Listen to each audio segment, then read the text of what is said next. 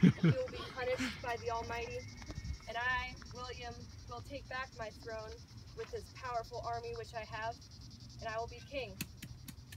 Yay! I'm the rabble now, so. Yay!